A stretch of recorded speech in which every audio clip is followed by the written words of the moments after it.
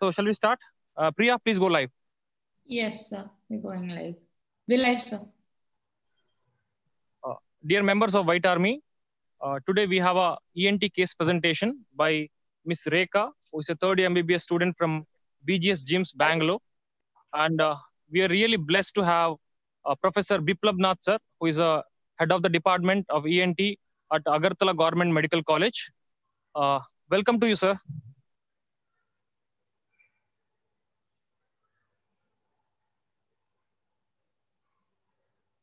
And uh, welcome to Rekha as well. All the best, Rekha. Over Thank to you. you. Please start the presentation. So sir's audio is muted. Yeah.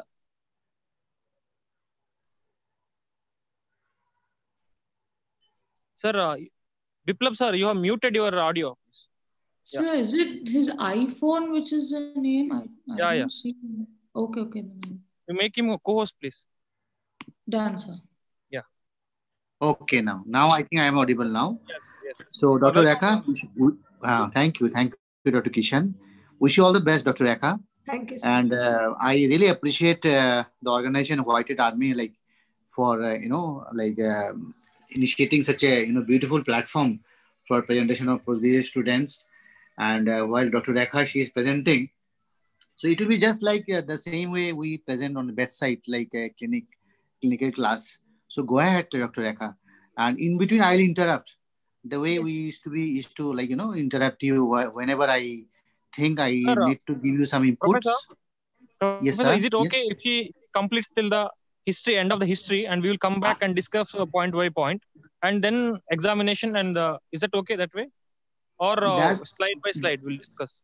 I think the, I think like uh, in between, like, let her go ahead. In between, I'll uh, interrupt her where because there are certain points like if we come back, uh, it will be lost from memory. sir. Okay, fine, sir. So both of us will be unmute. Uh, she'll continue in between. If there is a you know requirement, I'll unmute. I mean, I'll I'll do that. I'll unmute. I mute myself. Okay. Please go ahead, Dr. Rekha. Good evening, sir. Very good evening to you. I'm Please go presenting, ahead. I'm presenting a case of a female patient named Mrs. XYZ, aged 40 years, female who's a tailor by occupation, residing in Bangalore. uh, and she belongs to upper middle class socioeconomic status. Date of admission was 12th of February 2020, and date of examination was 12th of February 2020. She came with chief complaints of decreased hearing in the right ear since six months and discharge in the right ear since six months. Dr. Rekha, chronologically both are both happen in the same time or there is just some you know gap in these six Around months? the same time, sir. She she cannot actually uh, differentiate which started first. Okay. Yeah, either can can happen earlier. So instead of telling decreased hearing, uh, I mean, according to me, it's very right you have given.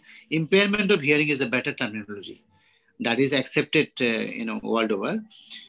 So that is fine. You have given decreased hearing, but I think impairment of hearing also can be, you know, better choice in that. Okay. Please go ahead. Please go ahead. History of presenting illness. Patient was apparently normal six months back, after which she noticed decreased hearing in the right ear, which was insidious in onset, gradually progressive, better heard when spoken loudly, and there was no aggravating or relieving factors. Okay. Okay.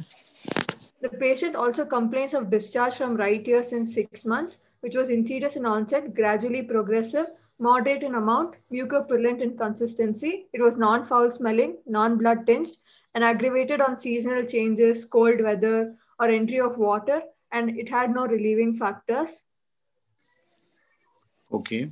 She had no history of pain in the ear, no history of ringing sensation in the ear, no history of giddiness or swelling around the ear, no history of fever, giddiness, headache, no history of facial weakness, no history of visual defects, diplopia, retroorbital pain, no history of irritability or neck rigidity, no history of nausea and vomiting, no history of trauma and surgery, and she had no history of upper respiratory tract infections or nasal obstructions, and no history of throat pain.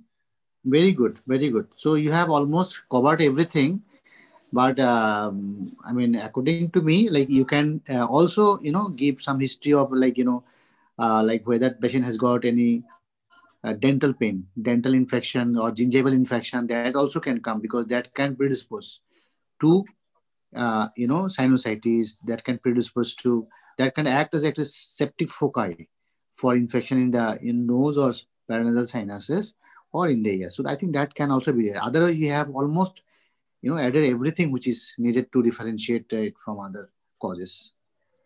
Okay, please carry on. Please carry on.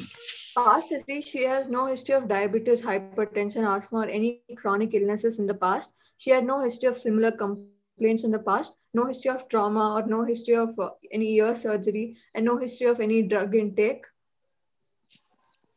Okay, okay, good. Family history, no significant family history, and no history of deafness in the family.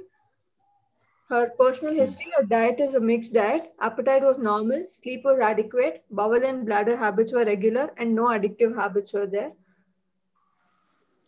Okay, To, okay. to summarize, I think, uh, Dr. Rekha, just I like to interrupt you once. yes. Uh, like um, uh, family history, you have written, written, no? Socioeconomic history also you have written, isn't it? Yes. Socioeconomic history you have you have given, no? Socioeconomic history. yes, sir, upper middle class. Okay, okay, okay. Please carry on. To summarize, a 40 year old female presenting with complaints of decreased hearing in the right ear since six months and discharge in the right ear since six months with no associated comorbidities, suggestive of uncomplicated tubotympanic chronic suppurative otitis media, which is currently in an active stage.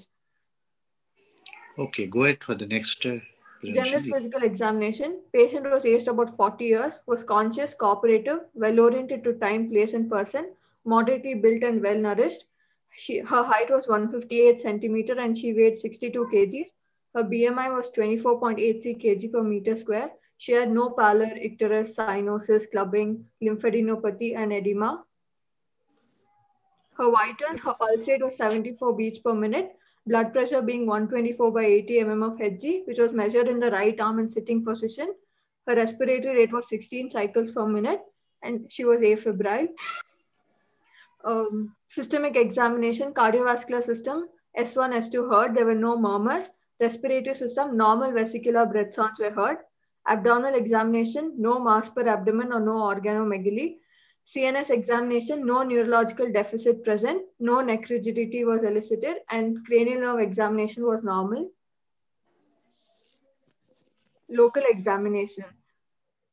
Uh, uh, first, uh, ear examination, preauricular region was normal. There was no tragal tenderness uh, seen. The pinna was normal. Postauricular region was normal. Mastoid tenderness was absent.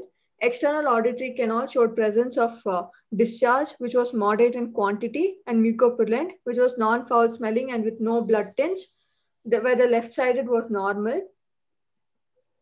Tympanic membrane showed small size central perforation in the anterior-inferior quadrant with smooth and rounded margins, whereas the left ear was pearly white in color and normal.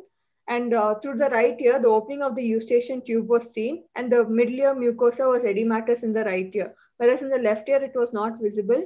Facial nerve was examined and uh, it was uh, normal because she was able to close her eyes, wrinkling of forehead was seen. She could clench her teeth and puff her cheeks. Fistula test was negative. so the right-sided ear showing perforation in the anterior-inferior quadrant. And the Okay. left-sided ear was normal. Good. You have given the diagram, uh, diagrammatic representation. That is good. That is a good thing you have done. Please carry on. Tuning fork test, test and functional examination. Rinne's test was negative in the right ear, which showed that bone conduction was better than air conduction. Left-sided ear, it was positive, where air conduction was better than bone conduction. Weber's test was lateralized to the right ear. Absolute bone conduction test was normal in the right ear and left ear. And test for balance, Romberg's test was normal. And uh, nose, nose examination, uh, external nasal framework was normal. Vestibule, the tip raising test was normal. The ala, columella, vestibula were normal. On anterior rhinoscopy, the nasal mucosa was normal. The septum was in midline. The turbinate was normal and didn't show any hypertrophy. The meatus was normal. And functional examination of nose, The cold spatula test showed fogging equally on both sides. Cotton wool test, movement was shown bilaterally equal. And posterior rhinoscopy was not done. Paranasal sinus tenderness were absent.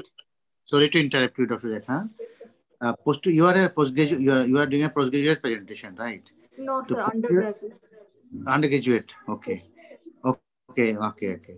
So, uh, posterior endoscopy examination, why it's not done? Can you give some uh, reason for it? So um, she didn't allow, sir. She said uh, it's paining and all. Okay, that you that you can mention that it was attempted, Yes. but uh, could not she be. wasn't compliant.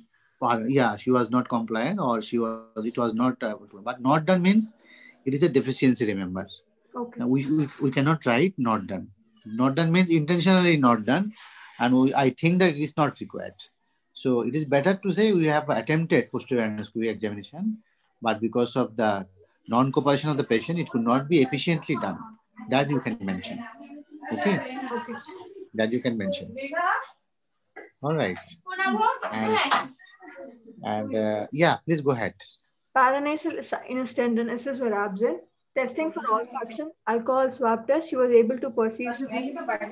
Oral cavity examination, throat. First oral cavity proper. She had good oral hygiene with adequate mouth opening.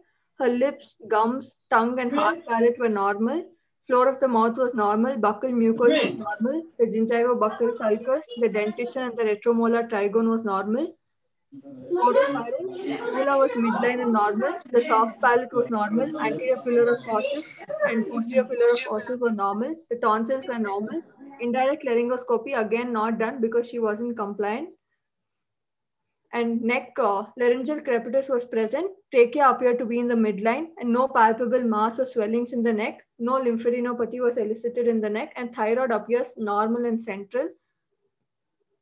Provisional diagnosis, a 40 year old female named Mrs. XYZ who came with complaints of ear discharge and reduced hearing. And my diagnosis is right sided, uncomplicated unilateral tubotympanic chronic suppurative otitis media in active stage with unilateral, which is right sided, conductive hearing loss.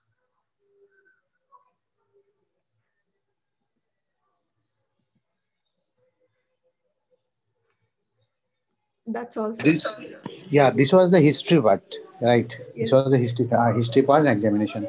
So your diagnosis was, uh, your diagnosis was Chronic suppurative otitis media, which is uh, uncomplicated, uh, okay. tubotympanic type with unilateral conductive hearing loss. Okay. So this actually this uh, I mean nomenclature nowadays uh, has been changed now. Uh, like we say now, like chronic suppurative otitis media instead of chronic suppurative otitis media. Nowadays we uh, we, we we we tell like chronic otitis media. Okay, chronic otitis media, and we so you have rightly pointed out. So it's an active stage. Active stage. It is an active stage. Yes, sir. Okay, and uh, now we have to tell whether it is a mucosal type. See, that I mean terminology of tubotympanic type, Yes, sir. Mucosis. uh, and now it has been converted to mucosal type. Okay, mucosal type or squamosal type. So instead of telling tubotympanic type, it is better we mention about mucosal type. So active chronic otitis media, active chronic otitis media, mucosal type would be better terminology in this case. Uh, and this tubotympanic type, this tubotympanic type, and uh, you know chronic suppurative otitis media. Now the terminology has been changed with times. Okay, so that will be the, will be the you know better options in this case. All right. So now, uh, if you just go back to the slides, you will just go back to the from the very beginning. Most of the thing, most of the thing you have mentioned well. Like, most, most of the thing.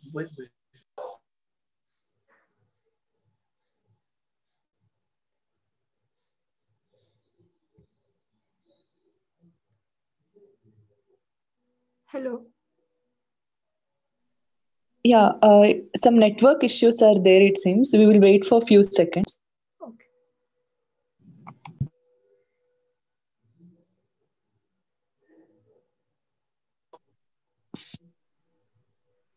Uh, I think, uh, am I audible now? Yes, sir. Okay. So uh, if you just go back to the, you know, the first or second slide, from there we can just, you know, just, uh, you know, start. Yeah. As I have mentioned about like, you know, impairment of hearing um, will be the better terminology in this case. Okay. And ditches in writer since six months. If you could specify, that will be nice. Usually, you know, uh, one come after another. Usually, like uh, discharge of the right ear and impairment of hearing, uh, you know, there is a gap, gap in between these two. So it is better you consider like if it is given six months and then discharge, uh, sorry, impairment of hearing for, and say, for, for example, uh, five months or so, whatever. Usually there is a gap that you can sometime, you know, uh, give, but sometimes there is no gap. That is also true. That, go to the next slide. Next slide, please. Most of the thing you have already, you know, presented very well for undergraduate standard I've seen. And um, yeah, next slide, please. Next slide. Okay. Mm-hmm. One thing actually I wanted to point out about the discharge, you said it is uh, it is um, you know uh, moderate in amount. Yes. Can you tell me how did you like how did you uh, ascertain whether it is mucopurulent or it's purulent? Can you ascertain? Sir, how can you ascertain? She said it was yellowish in color and uh, hmm. very thick and little frothy, sir. Frothy. Okay. And one more thing, we have to also see whether the discharge is intermittent. Whether it is yes. intermittent or it is continuous, that you have to mention. It was intermittent, sir. I forgot intermittent. to mention. Yeah, yeah. That that what actually I was thinking it's lacking here. So that if it is intermittent, what does it signify? It indicates it's a mucosal type of. Uh, very good. Very good. Medium. Yes. Whereas it, if it is continuous, scanty, uh, atticoantral or uh, squamosal. Very good. Very nice. So that differentiation, I mean, four words we should always remember. One is that uh, uh, the discharge, whether it's uh, continuous or it's intermittent. Second, the amount, whether it's scanty or it is, uh, you know, copious in amount. Third, whether it is purulent or mucopurulent. And fourth, whether it is foul smelling or non-foul smelling. So that four words which actually differentiate clinically in the history the chronic suppurative otitis media of mucosal type and squamosal type. As you know, in atticoantral variety, the discharge will be scanty. It will be continuous. It will be purulent and it will be always foul spelling. Is not it, right, Dr. Rekha? Yes, sir. Okay. Uh, let us go to the next slide, please. Yeah, that we have already mentioned. That uh, headache you have mentioned, pain and fever you have mentioned, and dental if there's any dental pathology or pain in the tooth or something gum that you need to actually mention here any uh, any history of nasal discharge okay yes. any history of nasal discharge any history of uh, uh, rhinorrhea that those also can be added because as you know um, most of the situation like uh, these uh, nasal discharge or sinusitis or rhinitis actually they predispose to chronic suppurative otitis media or chronic otitis media. So if the patient is having any nasal obstruction, if the patient is having any nasal discharge, that actually can be added. That there is no history of nasal discharge, there is no history of nasal obstruction.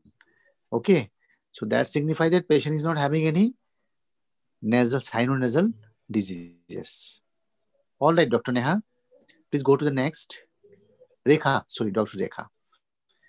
Okay yeah, these are pertinent history you have taken very beautifully. Next, please. Next, family history. All right. Next, please. Next. Okay, that summary also you have added very good. Yeah, next to it. Next to, yeah, general physical examination. Yes. Go to the local examination. Okay.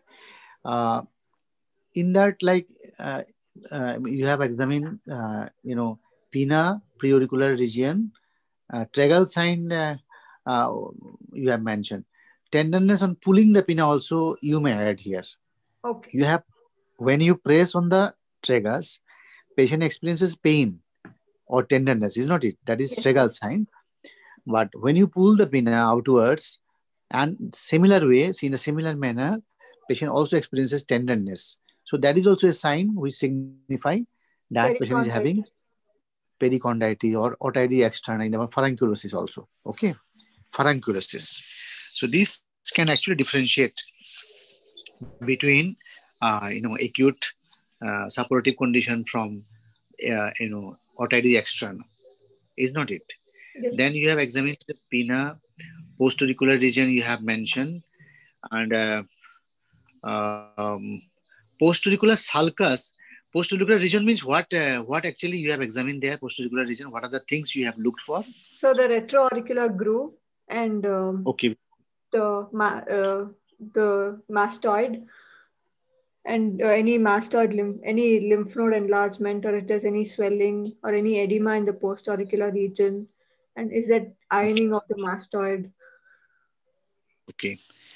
And uh, one more thing you have to always is the postauricular scar. If there is any surgical scar present in the postauricular region, that signifies that patient has undergone some kind of surgery in the past. yes Okay.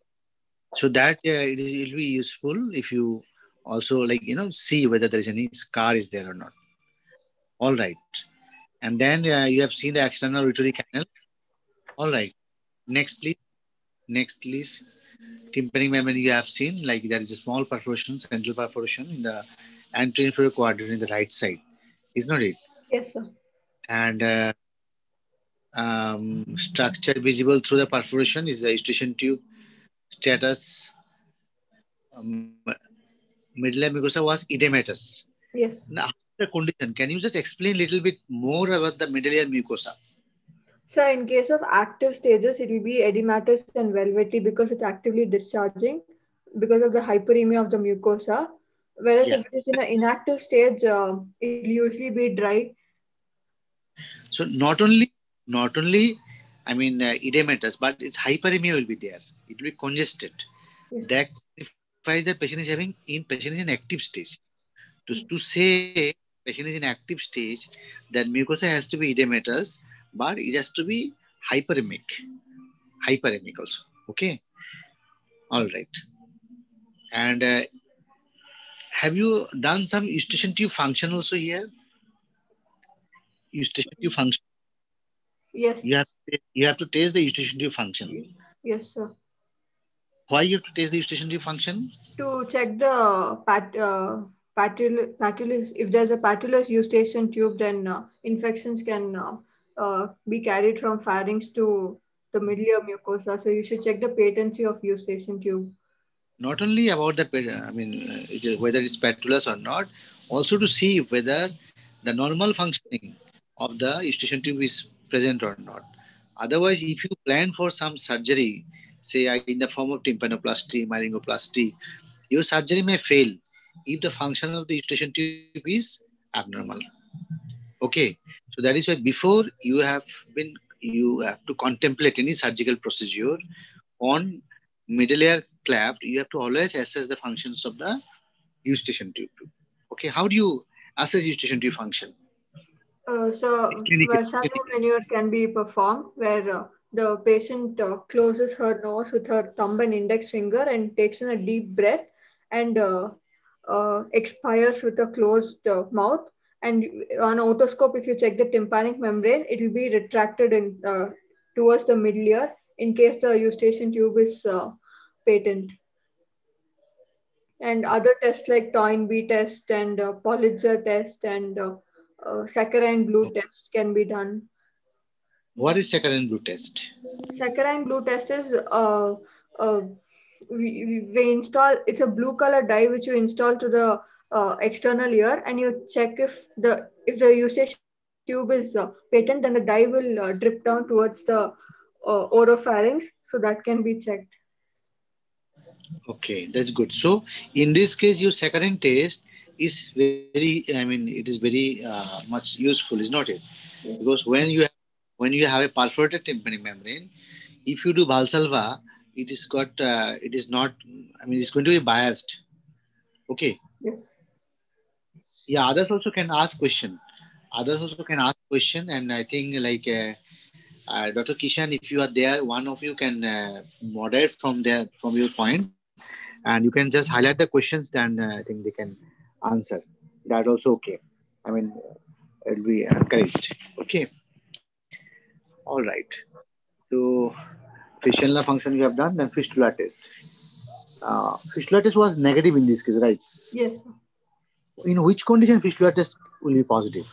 If there's a cholesteatoma, then uh, uh, which is causing a connection between the middle and the lateral semicircular canal, then uh, Mm. the fistula test will be positive. And uh, Mm. It can also be false positive in case of uh, congenital syphilis and Meniere's disease or post-surgical like stapedectomy. It can be false positive and it will be uh, false negative in case of a dead labyrinth.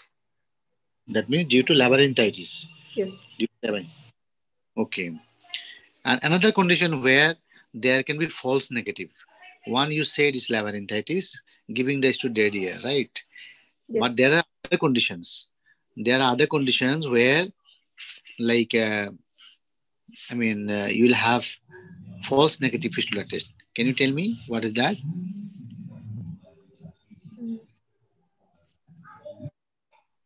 If it is, if the cholesteatoma, if the cholesteatoma is actually obstructing the matrix, the matrix of the cholesteatoma is obstructing the obstructing the tract of the fistula, then there is a possibility that patient is going to give false negative fistula test. Okay. Yes. Okay. Let us proceed to the next, please. Yeah, this is beautifully you have schematically you have shown where is the perforation entry inferior perforation in the in, in this case. Had there been a perforation in the posterior superior quadrant, then uh, uh, you know what kind of uh, pathology the patient could have been having. Can you just tell Posterior me? superior is usually because of uh, squamous cell type of uh, uh, chronic otitis media. And uh, Okay. Okay. So why, uh, um, I mean, why this posterior superior perforation is known as dangerous or unsafe? Why So you think? It can lead to cholesteatoma because of the retraction pocket. And this cholesteatoma can uh, dis- uh, disrupt the bone, can lead to spread of the infection from the middle ear to the mastoid or petrous bone or even into the brain. Okay. So that's why it's known as dangerous, is not it? Because they give rise to complications. Okay, next slide, please. Okay, Rinne test, Weber test you have done. And in the Weber, you have found it is lateralized to the Right side. right side. Okay. Absolute bone conduction you have done and you have found normal. What do you mean by normal? What what is exactly the inference is?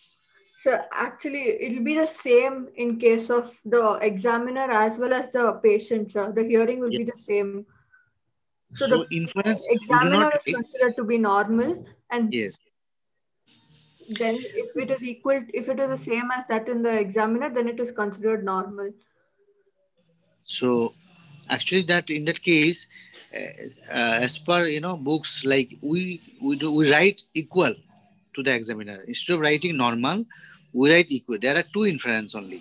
One is It is if it is reduced, then it is in uh, sensory neural hearing loss. If it is not reduced, then it it can be a normal ear or it can be conductive. deafness. one is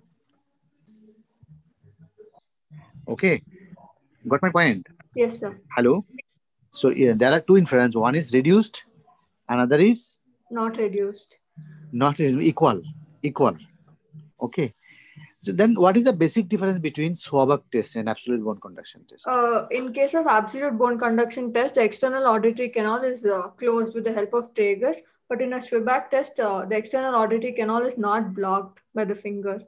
But the interpretations are the same as that of uh, absolute bone conduction test. But actually it is not same. It's not same. Because in in Schwabach test you have three interpretation.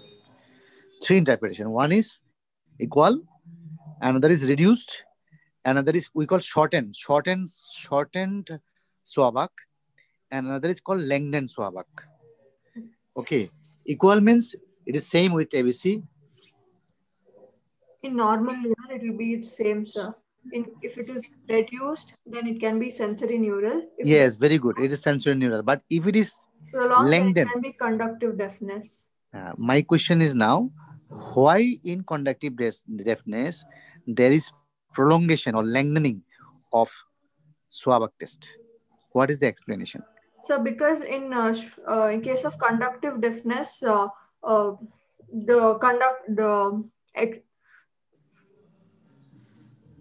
Yes, yes, please carry on. I mean, come on. um, In conductive deafness, what happens? What that what happens? Yes, somebody is telling occlusion effect. Huh? Occlusion effect. What is that? Can you explain? He's hello. right. So some one of your friend is telling that it's occlusion effect. I think it is he's right. Okay. In conductive deafness, in conductive deafness, what happens? That that uh, you know hearing or the sound which is entering through your external auditory canal, that's going to be muted partially, is not it? It's going to be muted partially. So the interference over the bone conduction by the ambient noise is going to be minimized. That is why the patient may feel that that they are actually hearing for longer duration. In normal person, in normal person, what happens? There is an ambient noise is there, ambient sound is there, which is actually interfering and which is masking the bone conductor sound partially. But in a case when patient is suffering from conductive hearing loss, like such case, yeah, I mean your case, where the sound patient is having, you know, transmitting via air conduction mode is less. So interference also going to be less. So masking effect is going to be less. Is that understood, Dr. Rekha? Yes, sir. Okay, thank you. Uh, carry on next, please. Next. Yeah. So your uh, nasal examination, fine. It's a teeth pressing test uh, you have done, and also uh, what do you call vestibular, like um, ela- nasal patency test you have done, right? Sir, N- nasal patency test you have done, no? You have done first external external nasal framework, Yes, normal, vestibule normal, and uh, uh, your yeah functional test. Somewhere I've seen you mentioned uh, yeah cold spatula test, Yes. fogging. Okay, so can can you just tell me what is the other name of this test? That cold spatula test. Okay, can you tell me what is the other name of this test? so I don't know, sir. Uh, it is simple. It's known as rhinohygrometry. Rhinohygrometry means what you see is the condensation. Condensation over the cold spatula, is not it? Yes, sir. So this is, is, is just, you know, hygro means is water, rhino means nose, metry means measurement. So we are actually measuring the water vapor, which is actually getting condensed over the cold spatula. So that is why other name of this state is known as rhino rhinohygrometry. Okay. All right. Now, cotton loose test. And next, please, next slide. Okay, that is good. You have given. And one thing I have seen, uh, mouth opening, lips, gum, tongue. And then next, next slide, please. Next slides. Uh, yeah, correct, correct. Okay. So indirect laryngoscopy you have not done. I have seen. Again, it is that you have done, but you, you could not do it efficiently, or you didn't do. What what what was that thing? What I should take? No. She wasn't compliant to do indirect Okay. laryngoscopy. See, initially, what happens like you, you have to take your time.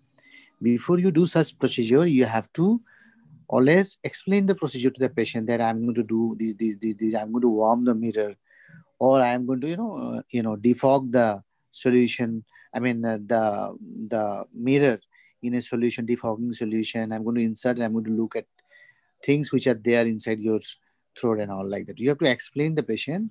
Otherwise, patient is going never going to, you know, you know, uh, what you call cooperate with you. Okay. So next time you do, please explain the thing. And it may happen that patient uh, many of the patients may cooperate with you.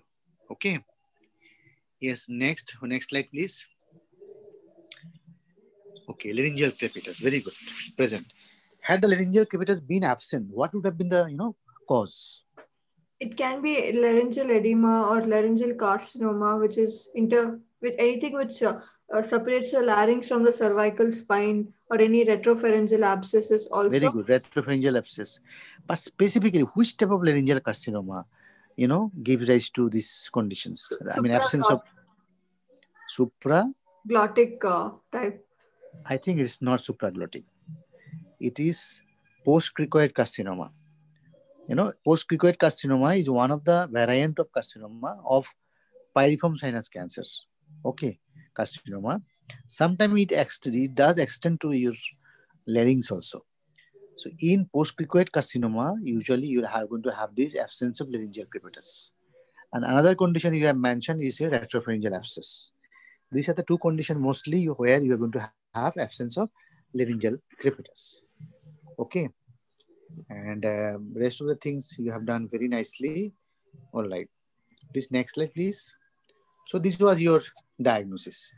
Now, can you just finalize your diagnosis? Can you finalize your diagnosis? Yeah. One like we have with a new nomenclature.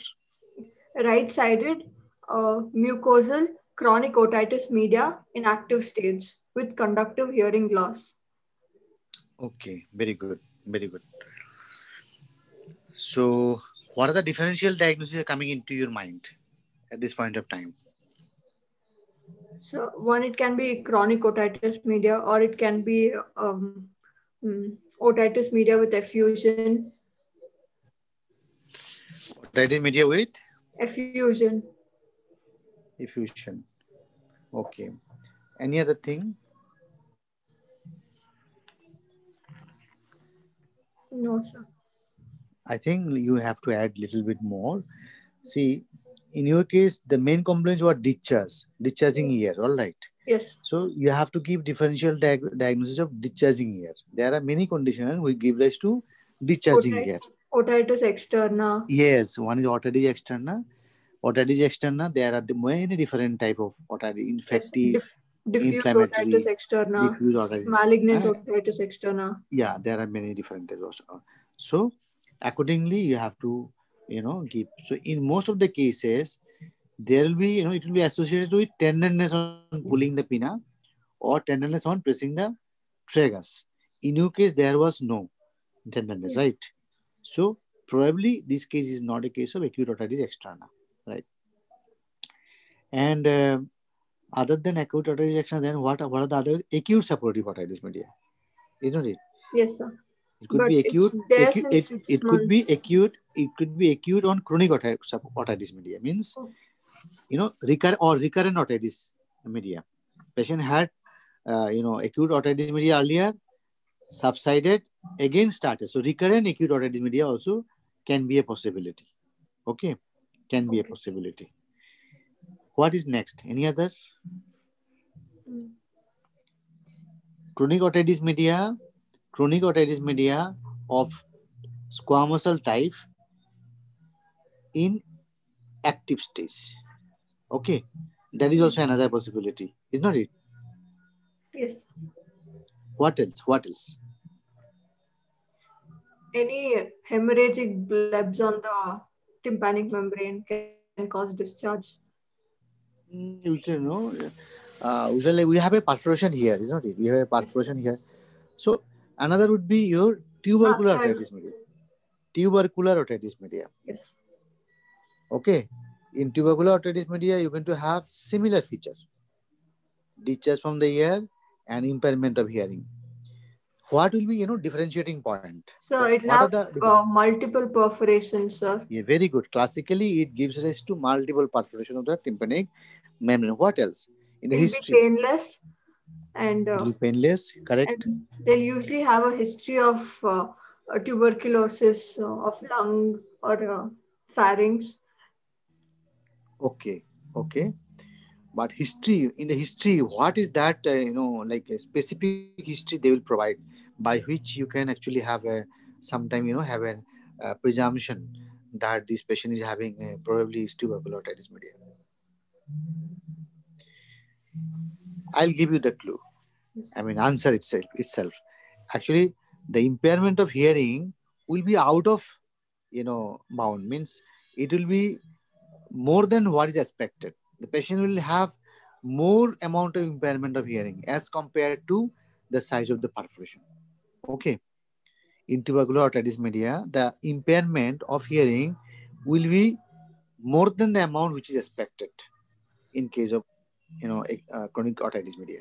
Okay. Earlier, during syphilis time, there will be syphilitic otitis media used to be there. Okay. So these are the Yes. other differential diagnosis you have to think. Okay. Okay, Dr. Rekha. Yes, sir. Should we go to the investigation now? Yes, sir.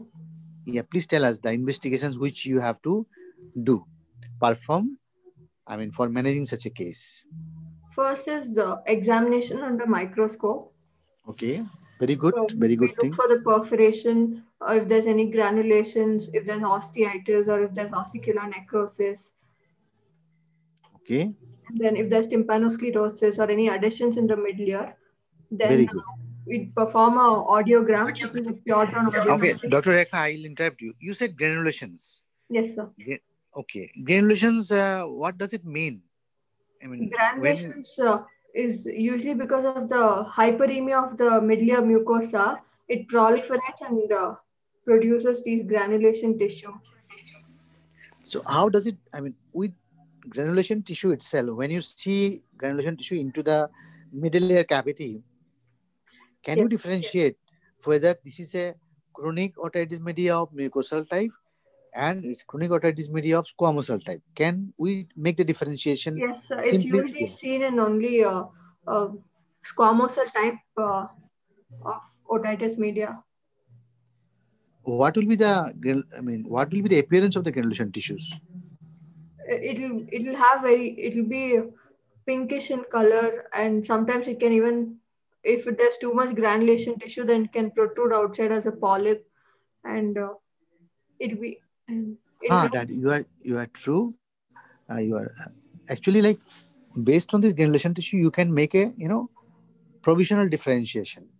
If the granulation tissue is fleshy, if it is very red and vascular, it if it bleeds on touch, then usually this type of granulation tissue are found in squamosal type of type. chronic. Yes, but if the granulation tissue is little pale, little edematous, and it doesn't bleed on touch, then probably this is not a squamous cell variety. So based on this, you know, just characteristics, you can sometimes arbitrarily you can make the differentiation. Okay, Okay. okay. All right, Yes. Sir. all right. So next, next, Next slide, please. we, we we perform a audiogram, pure tone audiometry, Okay, and um, we check for the type of hearing loss and Mhm. also the degree of hearing loss. very, very good. Very deep type and degree of the hearing loss. Very nice. And So um, in this type, in this type, whatever of hearing loss you expect. it's, it's a conductive type of hearing loss, sir. Okay, nice, nice. Next, how much loss you? Okay, how much? How much loss you expect? You have said there is a small perforation in the Yes, sir. anterior quadrant. So how much loss in the pituitary you, you can expect? So between 10 to 40, 10 to 40 decibels, sir. 10 to 14 decibels. If it is say uh, more than 40, say 45, 50, um, 55 decibel, then what do you think? What should you think is the pathology is lying inside? Ossicular necrosis inside. Okay, ossicular necrosis. Very nice. Very nice. So, so accordingly, we can presume if the patient is having uh, 55 decibel loss or 60 decibel loss, 50 decibel loss, then we should think that there is a necrosis of the ossicular chain. So, what implication it has got in our management program? Sir, if there's no ossicular necrosis, then we can just do a myringoplasty. But if there's ossicular, uh, ossicular necrosis, then we have to go for tympanoplasty.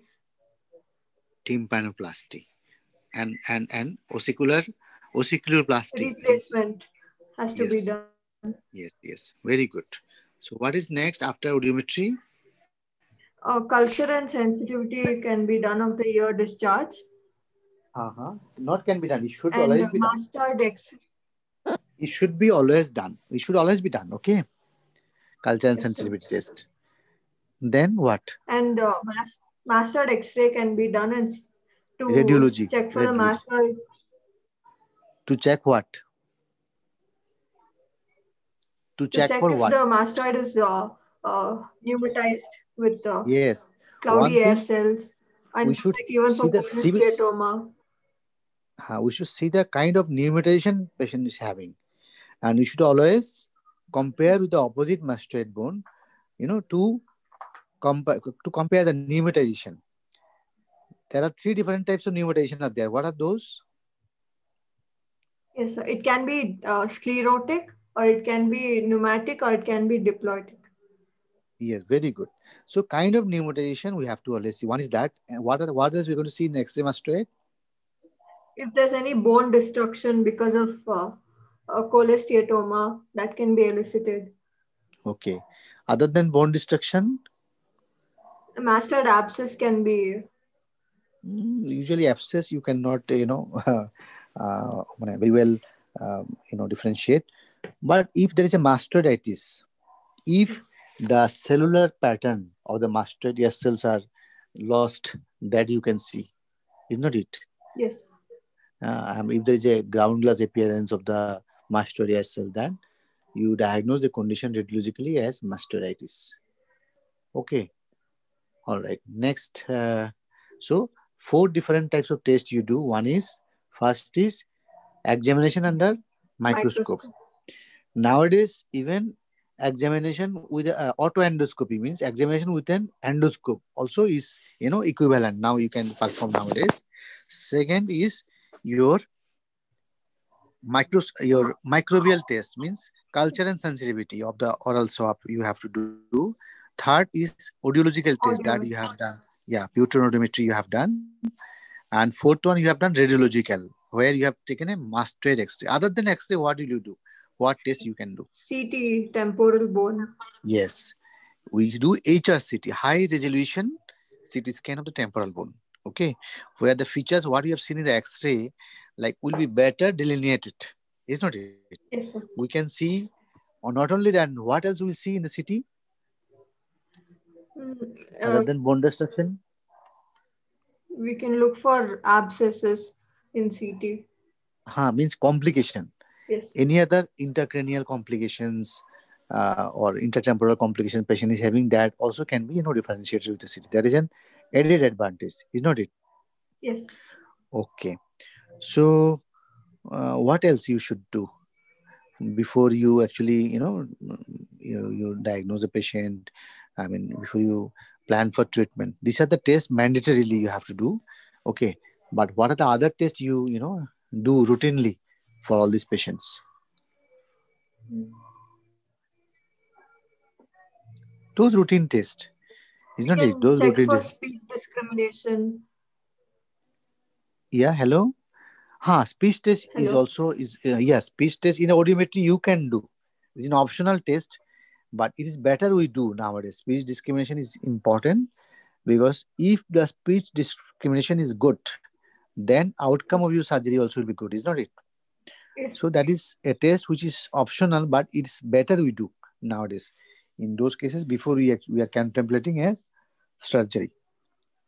So other than that routine tests like i mean you do some blood test. You do esr you do blood sugar is not it Yes. and those tests which you know um, are uh, important for assessment of patients uh, you know general what do you call uh, uh, fitness for any kind of surgery or so is not it Yes. so like you chest x-ray like ecg you would be doing like kft you will be doing like lft you will be doing those are the tests which are common tests that you need to do in your patient but not as a definitive test but these are test batteries which done which are done actually to assess the general fitness of the patient for any procedure you are going to undertake for this patient right Yes. so in your patient this patient wha- how will you like to treat treat your patient these patients So first, uh, because it is an active stage, we have to treat the discharge first. So aural toileting Okay. is done either by uh, dry mopping or wet cleaning with a normal saline or suction clearance. And then local antibiotics like gentamicin, polymyxin can be instilled by display. Uh, then by intermittent, you have to apply the drops and put intermittent pressure on the tragus. And uh, systemic antibiotics can be done along, can be given along with it and the ear has to be dry and uh, should have no infection for the surgery sir so surgical Okay. but the primary ma- management is uh, surgical management of myringoplasty if there's ossicular necrosis then tympanoplasty Tympanoplasty. Suppose some patients are there where instead of your best, you know, conservative approach, you do not achieve a dry ear. Then what options you have? Patient is not having a dry ear instead of your best possible conservative management.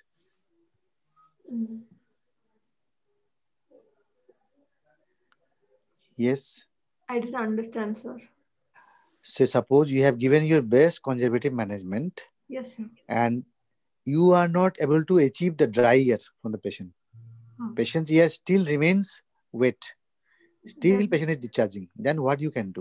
we have to look for if there's any secondary causes like adenoids or allergy in the nasal or nasal allergy and you have to treat that Very good, very good. So one is additional treatment. And uh, uh, we have to we have to instruct them to keep water out of the ear and uh, prevent swimming and frequent hair washing Okay. All right. So now your patient now is having a dry is not having a dry ear, is not it? For last six months, you have treated given. So you have, you have to wait till the time the ear become dry. Dry. So now a patient will ask you, okay, doctor, I am ready for the surgery.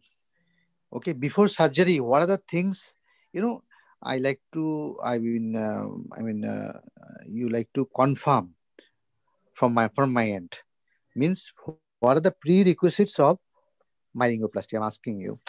What are the prerequisites? the inner ear should be uh, uh, functioning well and uh, the eustachian tube should be uh, patent and uh, there should be no infection in the middle ear.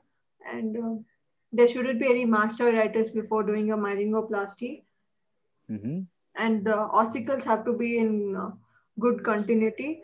And uh, And? A pure tone audiometry should be uh, kept for medical legal purposes. Mhm. And there should not be any associated infection or pathology in the upper airway. Like you said, adenoid, like you said, tonsillitis, like you said, dental infection. All these infections or, you know, um, problems should not be there in this patient. Otherwise, your procedure may fail. Okay. So these are the prerequisites you have to fulfill. Okay. So just we are almost uh, you know finishing almost finishing and and uh, for undergraduate level i think you have done very well dr rekha i must congratulate you uh, uh, like uh, just last question from my end okay Yes. um, like what are the different types of myringoplasty methods you know So there's a overlay technique, there's an underlay technique, and there's an interlay technique. Mhm. Uh, overlay technique, uh, usually now underlay technique is uh, preferred where uh, the with the help of uh, uh, graft materials like temporalis fascia or perichondrium from the tragus uh, are taken and then they are uh, placed behind the tympanic membrane uh, under the handle of the malleus by taking first the tympanomeatal flap and uh, assessing the middle ear and then placing the flap and closing the tympanomeatal flap. Whereas in case of an overlay technique, the stratified squamous epithelium of the tympanic membrane is raised and the fascia is placed under the handle of the malleus. okay so there are mainly over, overlay and underlay right Yes, sir. uh, and interlay also Yes. these are the three methods is not it Yes, sir. and uh, tympanoplasty what are the different types of tympanoplasty So uh, there are five types of tympanoplasty. Type one Mhm. is actually my same as myringoplasty. Uh, Mhm. Type 2 is when malleus is absent. Then- uh, Then, then what is the difference between myringoplasty and tympanoplasty? If it- myringoplasty, yeah, myringoplasty and type 1 tympanoplasty is same. They look for the ossicular uh, uh, continuity. Mobility. The ossicle Mobility. condition is good. Then they do type 1 uh, tympanoplasty. Whereas in case of myringoplasty, the fascia is just placed under the uh, perforation. They do not assess the ossicles. What is type 2? Type 2 is when malleus is absent and uh, the tympanic, the fascia is placed over the incus. And uh, type 3 is when incus is also necrosed. The fascia is placed over the stapes. That's also called as myringostapediopexy. And Good, nice, very nice. Operation. And type 4 is where the stapes only, the foot plate is fixed. So you create a, a cavum minor or a small cavity which covers the round window to provide a phase difference. And uh, Mhm. That's called as round window shielding effect. And type 5 is where uh, the oval window or the stapes uh, foot plate is completely fixed to the oval window. So you create a fenestration uh, to the lateral semicircular canal.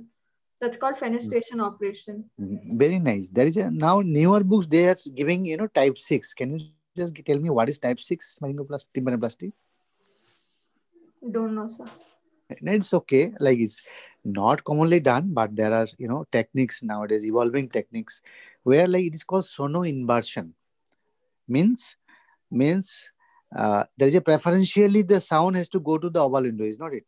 Yes, sir. in this case the shielding is done in such a way that the sound will be channelized to the round window preferentially.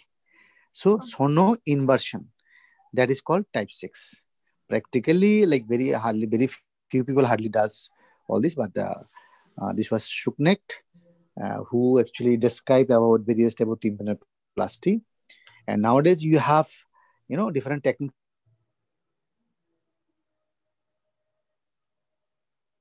so ossiculoplasty are there. You have got replacement prosthesis partial ossicular replacement prosthesis. They are known as torp or porp. Or so the yeah, PORP, partial ossicular replacement prosthesis, and TORP means total ossicular ossicular replacement prosthesis. So these are you know uh, I mean uh, there and uh, so typical you know tympanoplasty like type four, type five, these are you know not practiced anymore, not needed to be practiced. Okay, so I think you have done a great job, Dr. Rekha. Thank you, Um. I I must congratulate you. All the best. Meanwhile, uh, I, think just uh, we'll be open for the questions. Uh, if there are in the chat, if some questions are there, I think we can take, or they can unmute themselves and they can just uh, you know ask the question and we can you know uh, moderate the session. Okay. If there are questions, I invite the you know participants. They can ask questions. Uh, either they can write in the chat chat box or they can you know ask directly by unmuting their mic.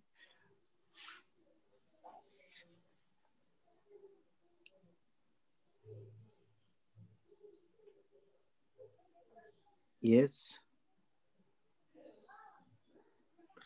Somebody mentioned about grommet insertion. What uh, what uh, would be the hearing loss if the tympanic is intact and with fluid in the middle? Very good questions. So that's a different condition. Okay, neurohacker. He's he wants to you know uh, like know what would be the hearing loss if tympanic membrane is intact and there is a fluid in the middle ear cavity. So in that case, the hearing loss will be very mild. Say maybe like you know maybe uh, you know uh, 25 decibel to uh, 30 decibels like that. Okay, 20 30 mean mild hearing loss will be there. 25 to 40 decibel within this. Uh, this is called mild hearing loss. So usually conductive hearing loss they produces mild hearing loss within 40 decibel of hearing loss. Conductive type. Okay. Any other question? You can write in the chat box also. Thank you. Thank you so much. Thank you.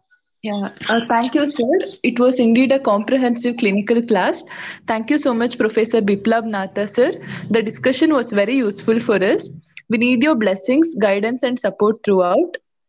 It was a great Thank effort sir. by the presenter, Ms. Rekha. We could learn a lot because of your well prepared presentation. Thank you so much. I also thank all the active members we who were enthusiastically answering and were actively involved. Thank you, one and all. Thank you, sir. Thank you.